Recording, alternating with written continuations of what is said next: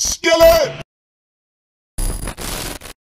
If there's apple juice and apple sauce, how come there's orange juice but no orange sauce?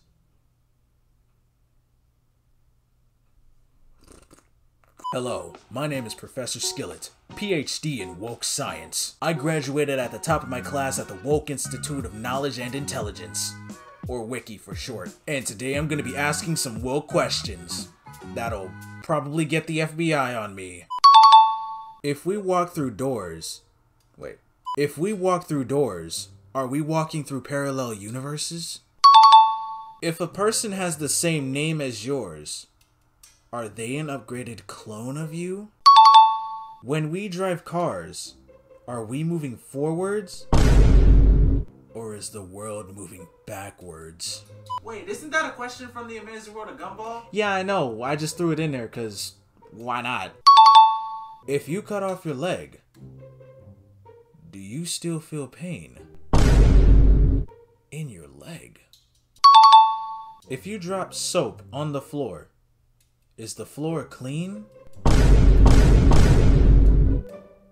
Or is the soap dirty?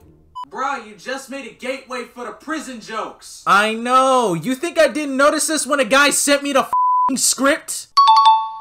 Why is the slowest part of the day called rush hour? Bro, that that is actually a mind-boggling question. Yeah, question. that's actually a good question. Is the S or C silence in the word sent? Why is the building called a building if it was already built? Hey, bro, chill. You're a little too woke right now. If you enjoy wasting time, is time really wasted? Hey, yo, chill. Bro has too much woke energy right now. Why is the third hand on the watch called Yo, the chill. second Yo, I said hand? chill. Chill. Chill. Officer, right there. Oh Come on in, fella.